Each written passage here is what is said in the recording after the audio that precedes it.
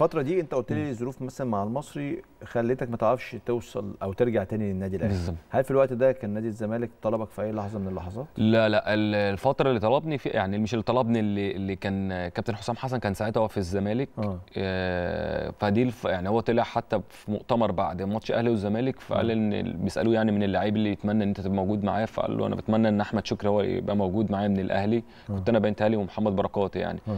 فدي الفترة اللي هو يعني الكابتن حسام كان آه، طلب إن يعني مش طلب يعني كان عايزني إن أنا أبقى موجود لكن غير غير كده بقى كان اللي هو كلام وكلاء يعني لكن ما كانش في حاجة رسمي لا. ممكن تروح نادي الزمالك عندك مانع ما عندكش بالظبط اللي هو الكلام اللي هو. العادي بالظبط. طيب